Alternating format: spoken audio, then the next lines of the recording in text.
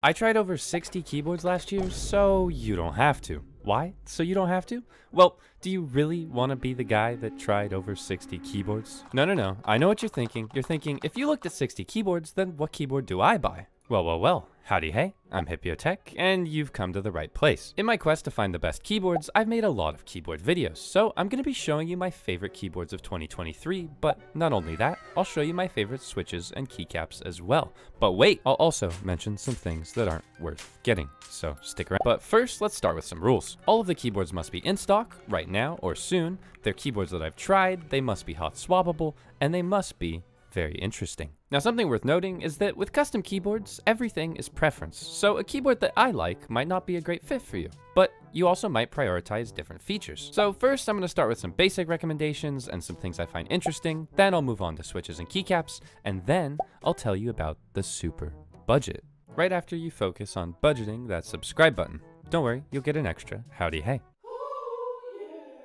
Now, last year, just like every year, I did look at some Keychron keyboards. And normally, Keychron keyboards are my go-to recommendation for anyone. Now, why is this, you might ask? Well, it's actually a little bit more complicated because Keychron has gotten very busy over the last year. Typically, they're what I call the good enough keyboard because they're good enough for almost everyone. Their keyboards aren't spectacular, they won't blow you out of the water, but they do carry some of the basic features that are good enough. Now, I'm specifically talking about their Q series of keyboards because they have some other weird stuff and so many different layouts and options. Oh my. They also have a Q Pro and now a Q Max series, which I'll be looking at later this year. But their Q series of boards is just simple aluminum keyboards that start at 135 for bare bones and like 150 for built. Now, here's where it gets interesting though, because Keychrons are keyboards that really need to be modded. And with a few simple tricks, this can become this.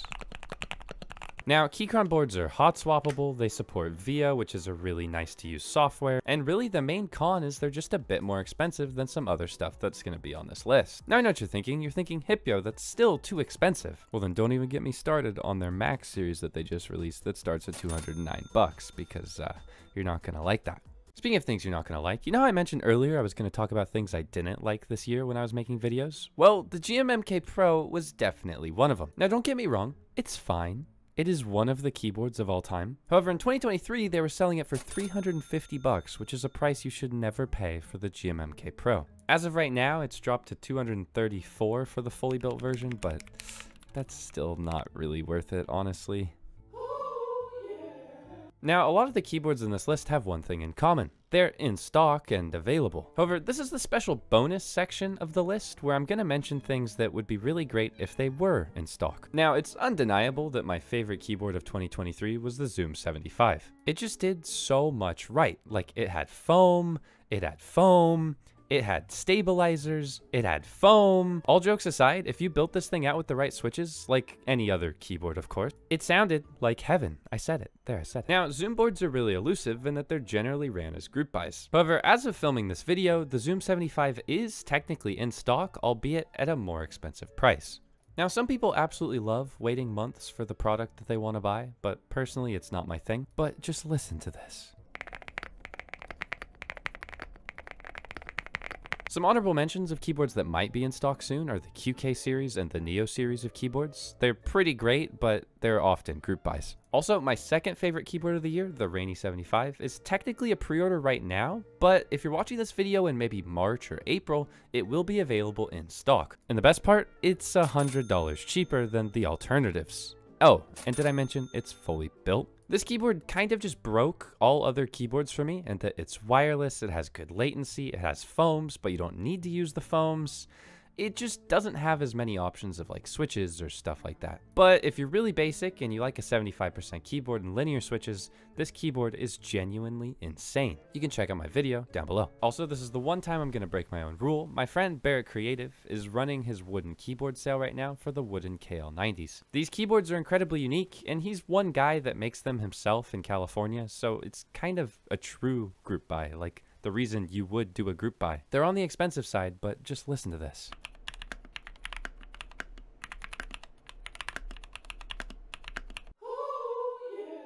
Now, it wouldn't be a year of Hipyo Tech videos without some weird budget keyboards, and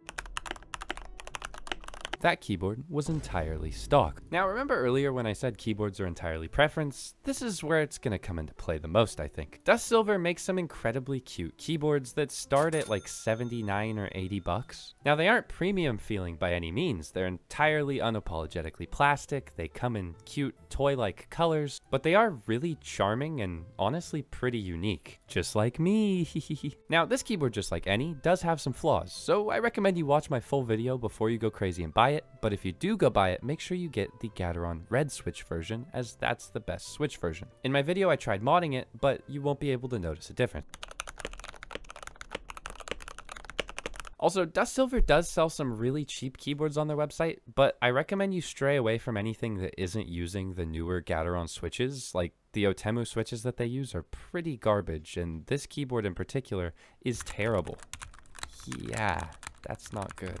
You know what else was terrible? When I tried to 3D print a keyboard. I started with the Bakeneko 65, thinking, ah, this aluminum case is a little bit lame. I just got a new 3D printer. Let me try and 3D print something. It took a lot of trial and error, but 3D printing my own keyboard was actually very, very fun. And it could be an option if you're on a crazy budget because you only need to buy the PCB and plate and then 3D print the case yourself and it'll save you a little bit of money if you already own a 3D printer. now, it was incredibly scuffed. The case didn't look perfect, but I was really proud of it. This was definitely one of the most challenging and creative videos that I did last year, and I do think you'll really enjoy enjoy watching it because some of my struggles are insane. Nola, please. But what I wasn't expecting was how good it was actually going to be. Like,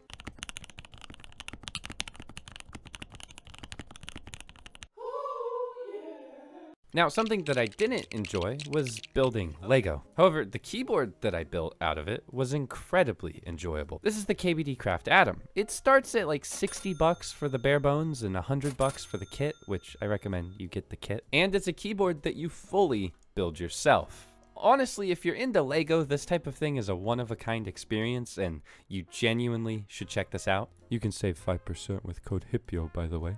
Now, it's definitely not the most durable keyboard. If you get mad and slam it, it will break apart. It is most definitely a novelty. However, the included switches are quite nice, and it's a Lego keyboard. It's cool. Cool Lego keyboard. There you go.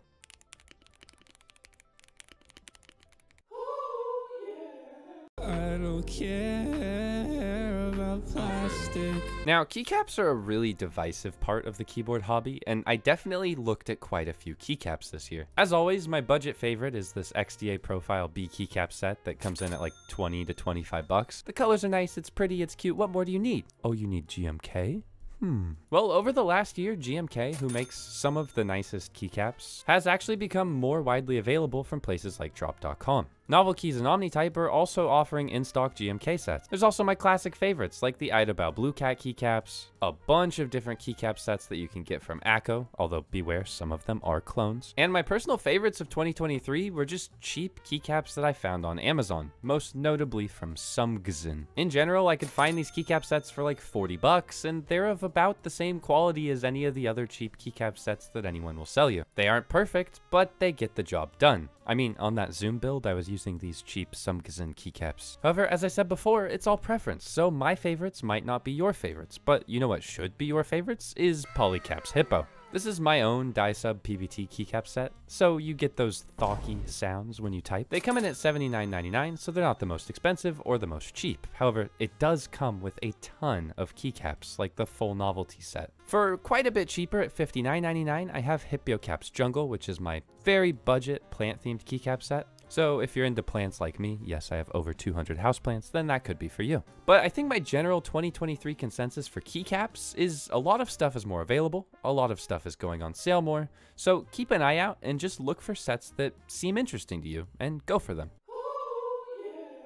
Now for switches, it's kind of the same deal as keycaps where it's totally preference, so take everything I say here with a grain of salt, or a grain of lube, I guess. Now I'm to give you a couple of different ideas for switches, and as always, there's the standard like Gateron box inks and you know, JWK switches that are perfectly acceptable, but WuQue switches kind of remain my favorite throughout all of 2023. You know, back in the day, we used to lube switches, where we by hand took every switch apart and lubed the switches and made them feel smoother and uh, yeah, that's a waste of time now. Honestly, the number one thing I am perfectly okay with leaving in the past is lubing switches. With switches like the Morandis and the Moon V2s from Kinetic Labs that are relatively affordable at like 45 for building a whole board, you kinda just don't need to because the factory lubing is so good and you'll save so much money by not buying all of the lubing supplies that you can buy a more expensive switch. Now in general, I recommend the WuQue series of switches because they're so versatile. They have tactiles, linears, silent switches, etc. But I do think the Morandis are the best of all of their switches. But it's all preference, so I recommend you buy a couple switches and you try them out and you see if you like them and go from there. If you're looking for some switches that are even cheaper though, well, maybe you could go with Akko and get some of their switches that say that they're lubed.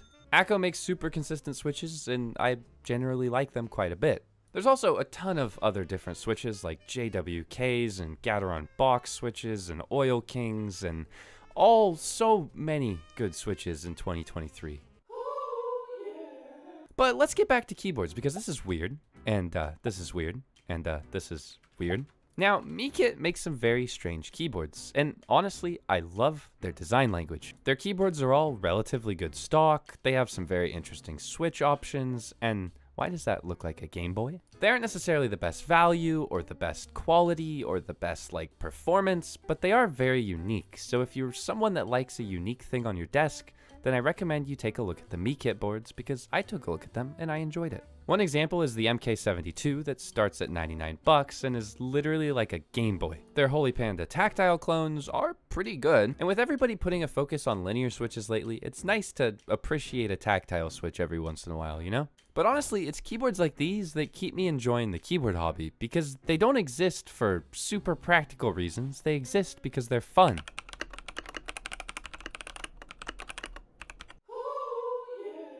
Now, I'm a certified gamer. I've played thousands of hours of RuneScape, and I'm pretty into gaming. And holy cow, was last year a good year for gaming and custom keyboards. Well, not me, I'm, I'm still not good at gaming. Now, the number one question I always get asked is, what's the best keyboard for gaming, Hipyo, and why is it the Wooting? And for most of last year, that was technically true. Now, if you're brand new to keyboards, the Wooting is like a normal keyboard, except it's not, because it uses magnetic switches. It's also 175 bucks for a plastic keyboard. Now, believe me when I tell you that the trend for 2024 is going to be Hall effect or magnetic switches, like these. The main reason being is that they can technically say that they're the best for gaming because of features like Rapid Trigger, which resets the switch's actuation on the upstroke. Now, this is a feature that's really overpowered for games like Osu and um, games like Osu. But please believe me when I tell you that most of gaming keyboards are just marketing. Now sure, there might be some latency differences between a custom keyboard and a gaming keyboard, but nowadays, we're seeing custom keyboards actually fix that. Also, we're seeing a lot of people start to make Hall effect switches. My biggest problem with the Wooting is that it's literally impossible to get it sounding good. Like I even built it a wooden case and it still sounds not that great. Yeah, I made a whole video on that challenge. That was a very interesting one. But with all the competition that's about to appear this year, it's gonna get interesting. And one of those competitors is the Boog. Now, for $220, the Boog is an in-stock, full aluminum, fully built Hall effect keyboard. It's got a millisecond of latency, and these Gateron switches are way better than the Lekker switches, holy moly. This is actually by the same people that made the Zoom 75, so if that gives you anything to go off of, this thing is very, very good. It still has a little bit of that characteristic magnetic switch chatter that I don't think will ever go away, but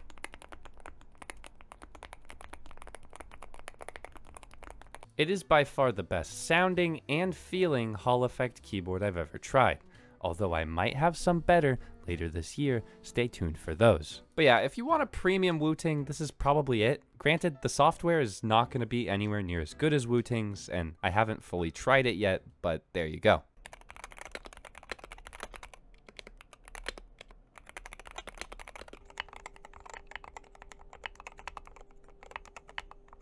Now, as far as other gaming keyboards go, most of them are just a bit overpriced, like this ROG Scope 2. I mean, don't get me wrong, Asus has definitely started to make gaming keyboards good, which is kind of insane. I didn't think I'd ever say that. But you're still paying the gamer tax. However, it does have a numpad, and uh, some of you really like numpads and cannot give up the numpad, so there you go. Also last year, something happened that I never thought would happen, and that was Razer made a custom keyboard. Can you believe that? They actually listened to me and made a custom keyboard. Now it had some problems, but its tactile switches that it comes with are very smooth and factory lubed and were very impressive. Granted, most gaming keyboards don't come with tactile switches, so this was really, really refreshing. Now, it was a little bit overpriced, and it was a little bit lackluster. I mean, like, plastic case, basically. That's kind of boring. But hey, they put gaskets in it, and foam in it, and uh, maybe in two years it's gonna be really good, guys, maybe? All jokes aside though, when you actually take this thing apart and fully mod it by replacing the switches and the keycaps with Morandi's and Sumgsn of course, it kind of turns into like a stealthy gamer beast. Granted, I did also fill it with kinetic sand because I'm incredibly unhinged, but hey, that's the spirit of keyboards, baby. This is the type of thing we're having fun. But it just means that with a little bit of love, you can kind of make any keyboard decent. Well, except for the Wooting. But just listen to this.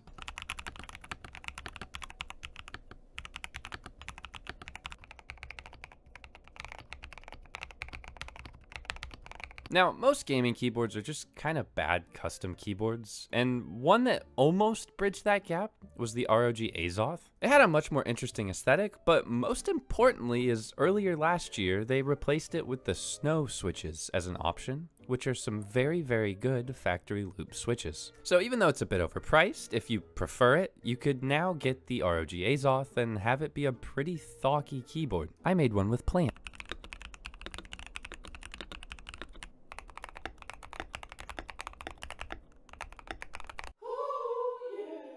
Here's an interesting one. It's a keyboard that I genuinely expected to hate, similar to how Nola eats this box. This is the Lofree Flow, and it's a low profile 75% keyboard. It starts at 159 bucks, so it's a little bit expensive, but it does feel quite premium. What actually blew me away with this one was how genuinely good it felt to type on. Like the switches that they chose were well factory lubed, the keycaps felt nice and not too tall or not too scooped, and it left me really appreciating low profile keyboards. By the way, I bought the NuPhy keyboards because you guys kept asking, so a video on that later this year. I actually found myself using this thing throughout the year as a mini little travel keyboard. I'd set it on top of my laptop and use it instead of the kind of gross Razer laptop keyboard. It's also incredibly thin and light, which is really nice.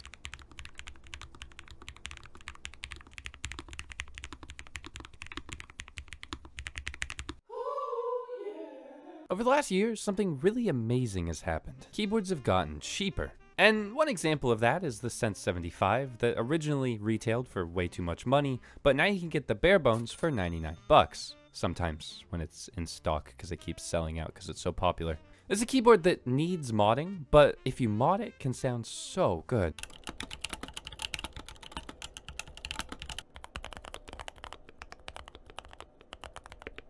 That's not the best value because later in the year, I got to try some pretty crazy stuff. Now, one example of this is the Cidoo V75, which starts at 139 US dollars. I know it's a little bit more expensive, but they also have a 65% version and a numpad. But wait, did I tell you that they also come pre-built ignoring this version with the blue keycaps because I made that myself. They come really well pre-lubed, they support VIA, they have a little screen option if you get the bare bones version, or a knob if you get the non-bare bones version. They're also wireless, which is a great touch, so if you like the retro aesthetic, then I recommend checking these out.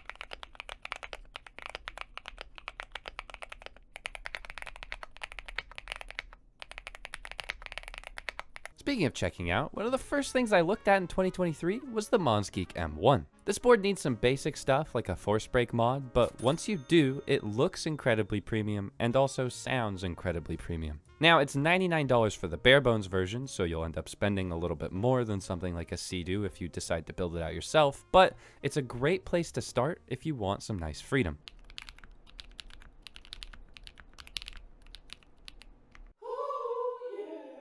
Hey, do you hear this? No?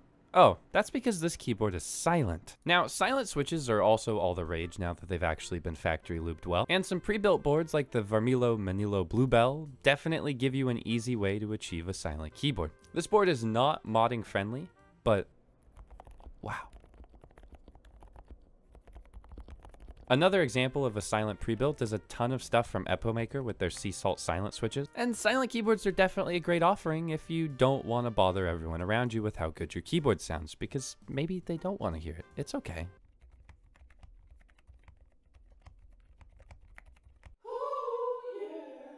Alright, all of you have patiently waited. What are the best budget keyboards that I looked at last year? Now, this list isn't fully comprehensive, I'm not keyboard Jesus, but the Keychron V series is still a solid contender. As of writing this, it's like 60 to 70 bucks for a pre-built version of the V series, or like 50-ish bucks for the bare bones. Listen to this.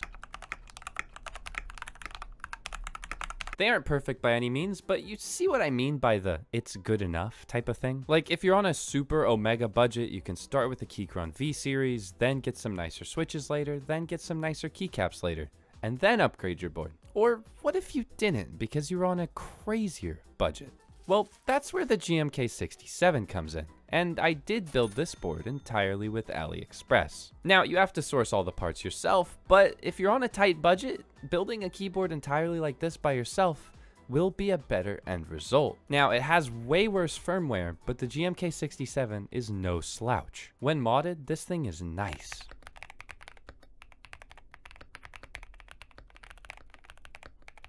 If you're incredibly lazy, there's pre-built Epomaker versions like the Epomaker EK68, but honestly, this is a way worse value than just building it yourself or just going for like a Keychron V series. I mean, come on.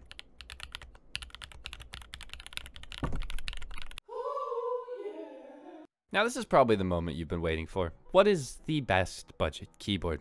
And that's totally subjective but this is the best that's in stock if you want like a 65%. And you're on a crazy budget and you don't care about firmware and there's a million caveats, but whatever, all right, whatever. This is the Womier SK71 or Xiaomeng SK71 or the Yunzi AL71. They're all the same keyboard and they're all incredible. It's an aluminum frame with a little RGB pass-through window it's wireless, it comes with keycaps and foam, and honestly, this thing is a crazy value package. At 90 bucks for the full build, it kind of destroys everything else in its price bracket. But that's okay, because some good competition is very good. The linear switches that come with it are surprisingly smooth, the gasket performance is lackluster, but hey, it's there. And if you shop around enough, there's a ton of different color options. And then don't even get me started on modding it. Once you add a couple layers of tape, it just sounds absolutely poppy and lovely and glassy and thocky and uh, I'm think I'm forgetting words.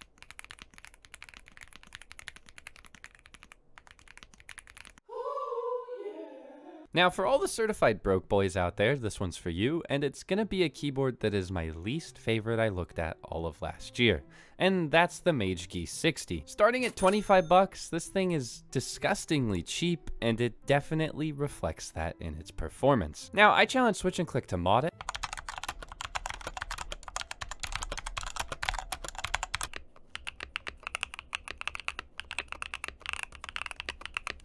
And that ended up costing as much as a Keychron V1. So, uh, yeah. I think the moral of the story is there's a million keyboards out there that are interesting, and there's a million more I need to try. But hey, last year I tried 60 for you, so you don't have to. Maybe this year I'll try 100. If you need any additional help or have any additional questions, then join my Discord or post a super thanks on this video and I'll try my best to respond. Bye!